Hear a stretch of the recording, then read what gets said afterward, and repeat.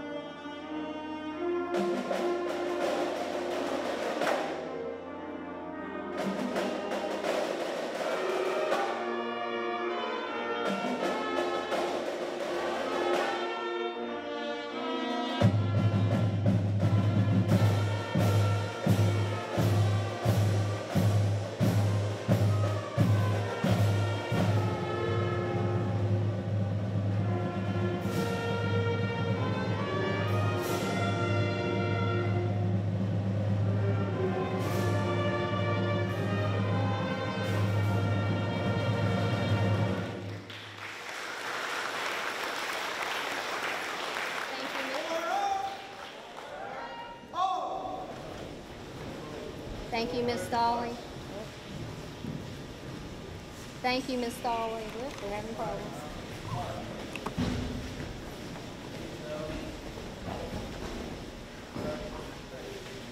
Thank you, Miss Dolly. No.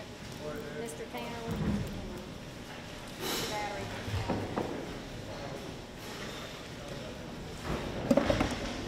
Stand at. Ease. Thank you, Ms. Dolly and CCA Good Band.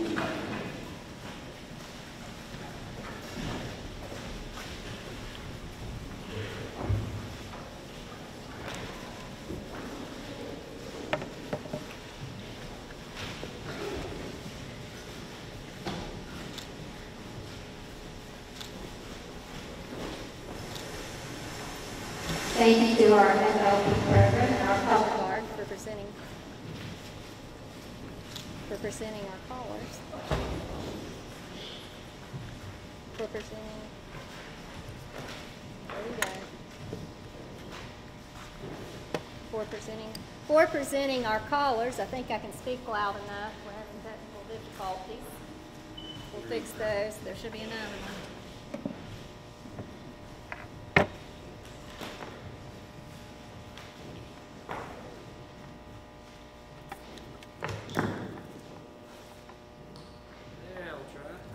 Try again. Of course, I'm loud enough, everyone knows that. I don't need a microphone.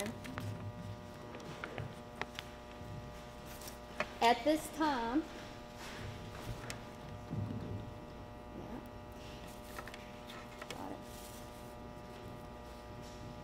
At this time, it is with my great pleasure to introduce Major General Hoyer and his guests that we have with us and all the guests that have come to Clay County High School today.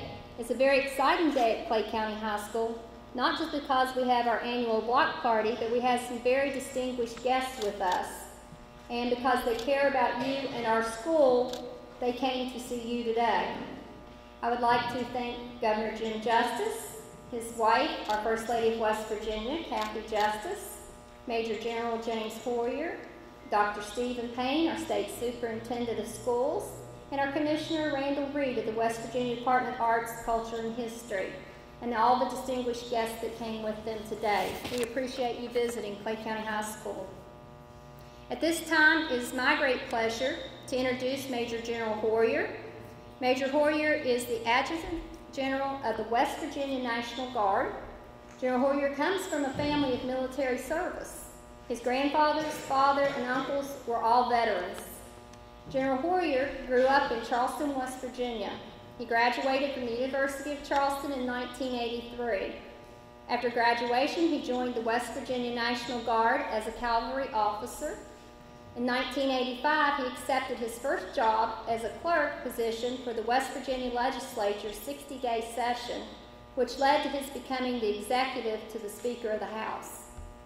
After attending the Special Forces Officer Qualification course in 1988, General Hoyer went on to spend more than 14 years with the 2nd Battalion, 19th Special Forces Group. In February 2011, he assumed the duties of West Virginia's Adjutant General. In this role, he provides command, guidance, and vision to more than 6,500 citizen soldiers and airmen in the West Virginia National Guard.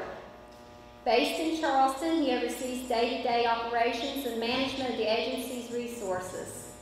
With an eye always on the future, it is known that he always focuses on recruiting as well as mentoring individuals.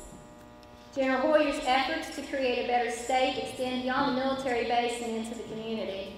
And though he does have a little spare time, he makes it a priority to give back to institutions that makes him what he is today. He was a product of Charleston Catholic High School, a graduate, and he returns to his alma mater every year to talk to the junior class about the importance of service. He also dedicates time and energy to UC's Board of Trustees offering guidance for growth opportunities. He is the past chair of the National Guard Association of the United States and the co-chair of the Strategic Engagement Committee for the Adjutants General Association of the United States. He also invests a great deal of time and energy off the clock in the Mountaineer Challenge Academy, a National Guard program that mentors at-risk students and helps them attain their high school diplomas. Among General Hoyer's impressive accomplishments are he graduated from the Special Operations Qualification course in 1988 as a Green Beret. He was promoted to captain in 1989. In 1994, he was named commander of the Detachment 1, 2nd Battalion, and 19th Special Forces Group. In 2000, he was named commander of the 35th Civil Support Team. In 2004, he graduated from the U.S. Army War College. In 2005, he was deployed to Iraq with the Joint Interagency Agency Task Force. In 2007, he was promoted to Brigadier General.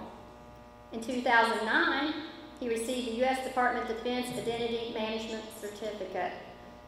In 2011, he was appointed as the Adjutant General of the state of West Virginia. In 2013, he graduated from Leadership West Virginia in 2016, he was elected chairman of the National Guard Association of the United States. And in 2018, he was appointed by our governor, Jim Justice, to oversee RISE West Virginia. These are a few of his accomplishments. And as one can see, General Hoyer is an avid supporter of the youth in our county, our state, and our country. Ladies and gentlemen, it is my great pleasure to welcome Major General James Hoyer to Clay County High School.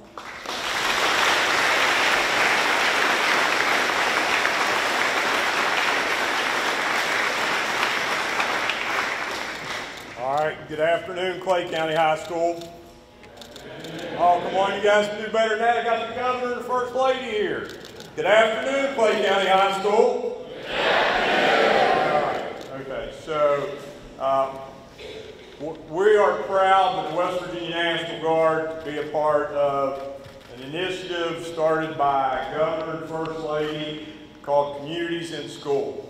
And I've heard the governor on a number of different occasions talking about the primary focus of what we've got to focus on is West Virginia achieving its potential. Because if we go out and achieve our potential of who we really are as a people, we're going to be the best in the country and the best in the world. So part of what Future Leaders program in the National Guard is designed to do is to work hand in hand with communities and help not just the kids in Future Leaders program, but the entire school focus on what's good about us as West Virginia and leadership and the responsibilities we have to make our state a better place. And from that, we as a state will achieve our full potential. Out here right now, across the world, are men and women in the United States military from West Virginia who are doing amazing things on behalf of our country. But this is not just about folks joining the military. It's about folks just getting to understand the potential that we all have inside of us and unlocking that and using that to make our state achieve its potential. We had set up 10 programs across the state for our first set of Future Leaders program. But as we started to work with the First Lady on communities in school, we realized we had one more place this year that we needed to be because of the potential that exists here at Clay County High School. So, with the help of the governor and Speaker Hanshaw, I went to them and asked for additional support stand up one more Future Leaders program this year. And that's why we're here today, because that program is here at Clay County High School. So what the leadership of future leaders, the West Virginia National Guard, and communities in school are working cooperatively together to help all of us and to help all of you achieve our potential as West Virginians so that we can lead the nation going forward. So I thank you guys here for the opportunity. I appreciate the folks who have signed up so far for future leaders. We'll, based on the numbers that we know that will happen, probably about 20% of these kids will join the United States military. They'll be like these folks sitting here. They'll be like my two sons who are both serving in the United States military. And they'll be like Sergeant Major Patterson, stand up, Sergeant Major, retired Sergeant Major from West Virginia, who retired with how many years of service on active duty? 24 years of service, decided to come home because she wanted to be back in West Virginia, help it achieve its full potential. So those are the kind of people that you can be like, as well as all the other things that your imagination can let you look at and be. So again, we thank you for giving us the opportunity. First Lady, we thank you for giving the West Virginia National Guard the opportunity to be a part of communities in school and help do what the governor tells us all the time we need to do, and that is achieve our full potential as the state of West Virginia. So it's my pleasure right now to introduce the person behind communities in school, the person who motivated the governor and all of us to work towards communities in school, First Lady Cathy Justice.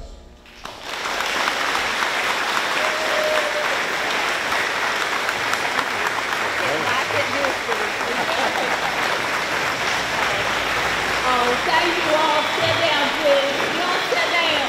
Okay. Well, thank you, General Hoyer. That's a kind introduction. I'm not sure I deserve that, but I do know that Communities in Schools is here. We're so proud of it. Dr. Payne has been a big part of this. The governor of West Virginia, Jim, has been a wonderful part of this.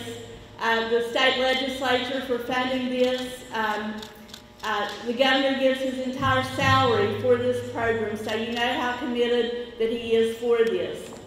Uh, the Future Leaders in the National Guard is a program I see that's hit the ground running. It's going to be great.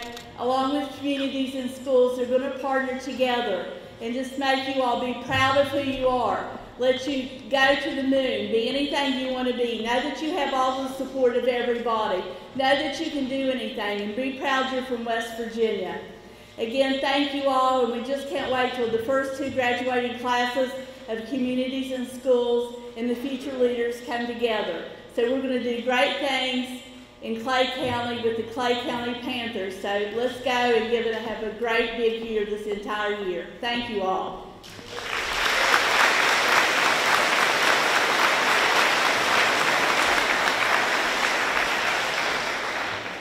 Okay, there's a, a gentleman that I drove up here with today. I've kind of known him since high school, and he's not a very good driver, so on the curvy roads, you know, we're kind of queasy and stuff. But he was so happy to be here to see you all and know what you're doing and be proud of you all. He's so proud of you all and what you're doing, making your lives be as best as they can be. Just get your full potential, hold your head up high, and this is our governor and my husband, Jim Justice. Thank you.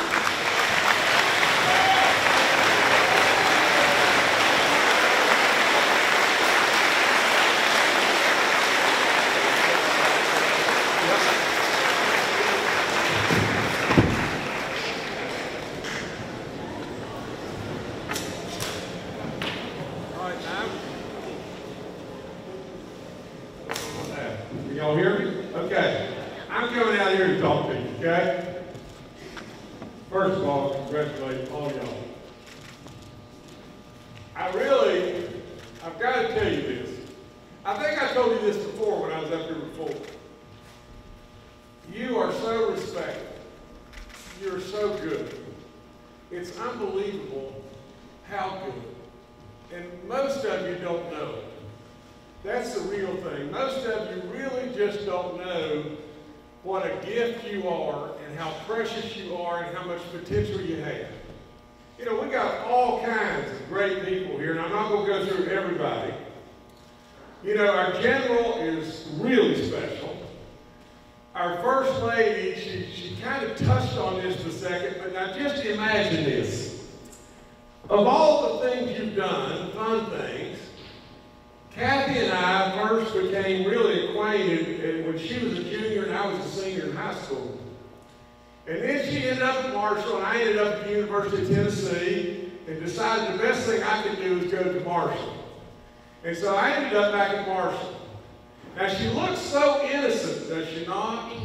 And just such a really kind, good person. Now imagine, because I love to hunt and fish like a bunch of you do like crazy. I mean, I love the outdoors beyond good sense. It was in February, and we were at 12 Pole Creek. There was a guy from Legacy, West Virginia, which is way back in the hollows and everything in West Virginia. He and I were really good friends. His name's Gary Dean. And Gary and I wanted to go fishing. And so off we went, Cathy went with us. We got some river eels, and we were fishing with those. And for those of you that don't know what that is, it's just like little teeny snakes. And we were fishing with them, and we weren't catching anything. It was in the middle of the winter, and the stream was running solid mud. And so I decided that we, we were going to leave, and I was going to go out on this old dilapidated boat dock and release the river eels that we still had in the bucket. And so I did. And as I was releasing those river eels, Cathy's hair was all the way down below her waist, straight, just beautiful beyond belief. And all of a sudden, as I bent over in a river that's running solid mud in the middle of the winter, I felt these hands shove me. And as I was going head first into the middle of the river, running solid mud, I threw my hand back like this, and I had no idea, but I grabbed Cathy's hair. And as I hit in the water, Cathy hit further out in the water. And so as this little innocent being here said so sweetly, then she came up and the first words that I heard is, Jim, I can't swim. And so we got her out of the water. Everything was good. It was cold. But uh, we've been together a long, long, long time. I think we've been married now some, somewhere around 600 years. But, but it's good. And today I have the opportunity to be with you. That's really good. Because, you see, the days that I'm able to spend with kids are my very best days. You know, the guy told me a long time ago, kids know if you like them. Well, if you don't think that I like you, you're crazy as a loon. You know, first of all, I really care about you. Just the other day, I was you, and so was Cathy you. Before you know it, you'll be me. I tell you this so often, but think about it. I was skinny at one time and had brown hair. My grandparents never had indoor plumbing.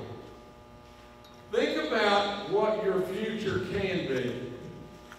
It's unbelievable. And this program, several schools can't afford a, J, a JROTC program. This program a future leaders is unbelievable what he'll do. And so our National Guard stepping up with communities and schools. The whole thing about the whole project is just this in every way is there'll be somebody with you all the time. Somebody you can talk to. Somebody you can navigate through all the little curves and whatever it may be. Somebody that will help you, and from that, we hope you'll grow. Probably 20% of you may go to the military, which would be fabulous beyond belief. There's nothing on earth that could be more of a serving, honorable thing. Now, I've said it over and over and over to our military active, to our veterans, we owe every single thing that you have, everything that I have. But in addition to that, we'll have training for you to become the leaders, the leaders of the world. And communities and schools, and Cathy being the pilot of this program, is really knocking it out of the park. I think you are one now of five counties with this program. It can't be any better. And let me just say this. I hope nobody's sick. Is everybody okay? Again, just watch you. You are unbelievable. You know how you look? You can see it from right here. You care. And you love. And you're together. Let me just tell you this, and then I'll be quiet. I became your governor. I've never wanted a thing. All I want is goodness for all of us, but especially goodness. Are you sure? Y'all sure she's okay?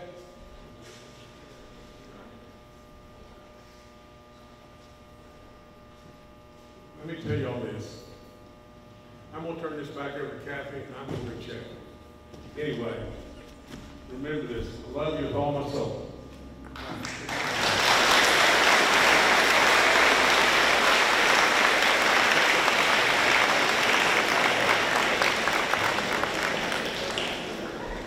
Okay, now we have a really special person to introduce, Dr. Stephen Payne, who's the State Superintendent of West Virginia Schools.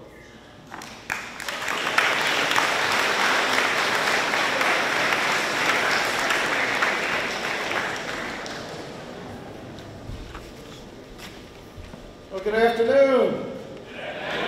All right, I was just here this past June for your graduation.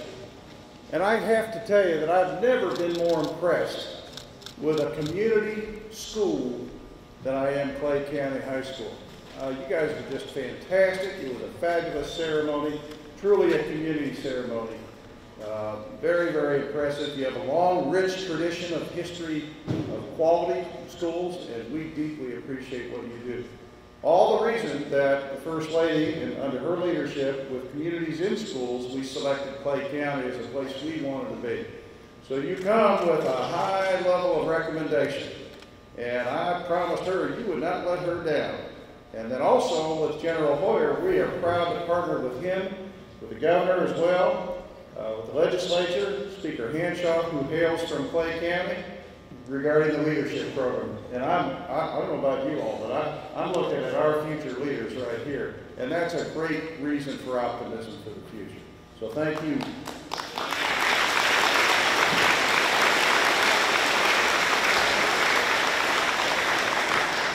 So thank you very much. You've heard everything from the governor, from the First Lady and from General Hoyer, I just like to take personal privilege to tell you how proud I am of Governor Justice and his, when he tells you, folks, when he tells you that he loves you and he cares about you, I don't know of a man in, a leader in West Virginia that is, that is as sincere as he is when he says that to you, so believe it, okay?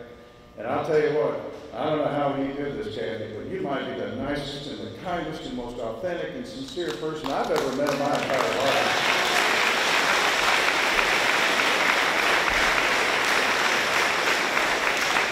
Sometimes I joke with the governor and I tell him he married up, and sometimes he agrees with me too. So. Anyway, I, I, I don't have a whole lot more to say, but we've got something to present that should we wait on the governor general or not? Okay, all right.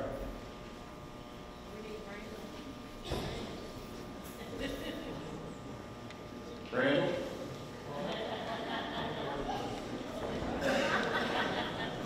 You're in for a treat.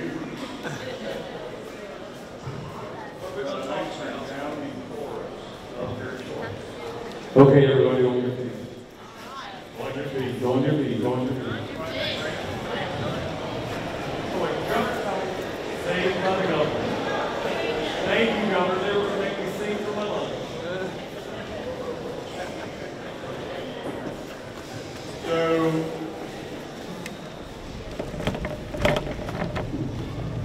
future leaders, we started out, as you guys can see, with just shirts, just to designate our kids being of the program.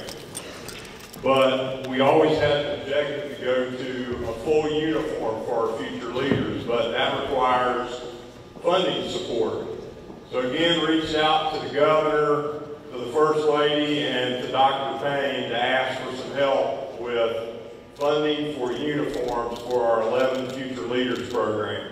So today, thanks to their efforts and the support of Speaker Hanshaw and others, we are presenting to Clay County Future Leaders Program a check from the governor and first lady and Dr. Payne for $21,000 to pay for uniforms for our Future Leaders Program. So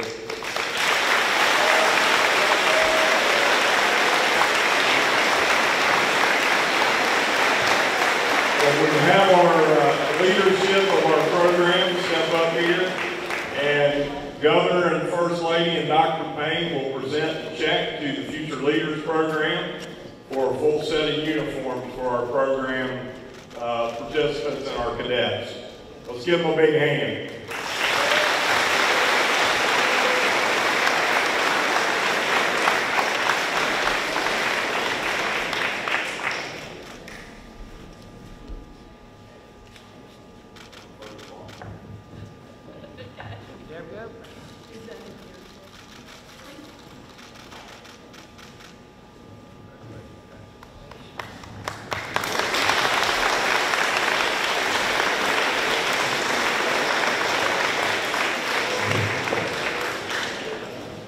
Well, let me thank you again.